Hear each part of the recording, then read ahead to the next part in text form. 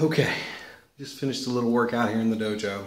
Um, actually, tested the shoulder out, or not the shoulder, the shoulder, not the shoulder again.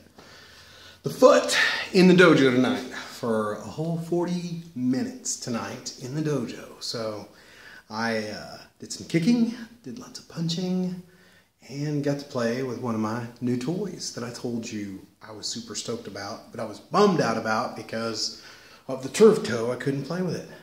Remember when you were a kid and you bought those Bozo the Clown punching things, and you'd punch him and he'd fall over and he'd come back up?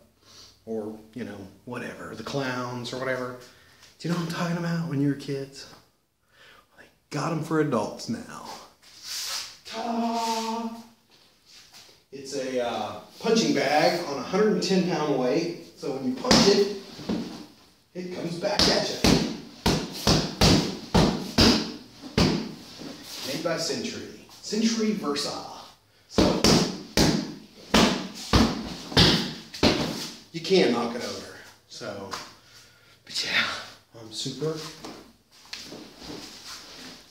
excited to be back in the dojo and working on this stuff and taking it to another level slowly. But today was a cardio day and I decided to make it an entire dojo day. So,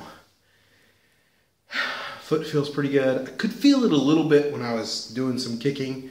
I didn't do too many kicks that involved twisting my foot, but uh, felt pretty good. So felt good to be back in the dojo too.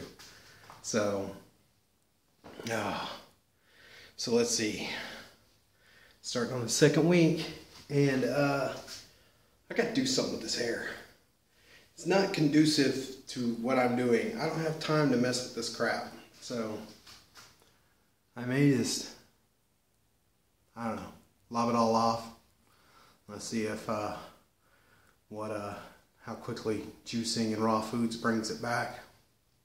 You know, because everybody's always like, you don't get enough nutrition doing it that way. Your hair will fall out.